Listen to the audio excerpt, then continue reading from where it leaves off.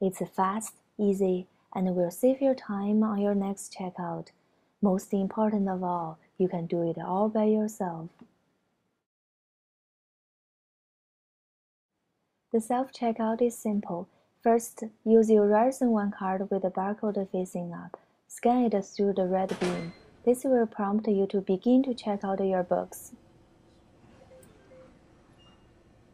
Next, scan the book barcode. Ryerson barcodes are uh, mostly located on the top left corner of the front cover. Gently proceed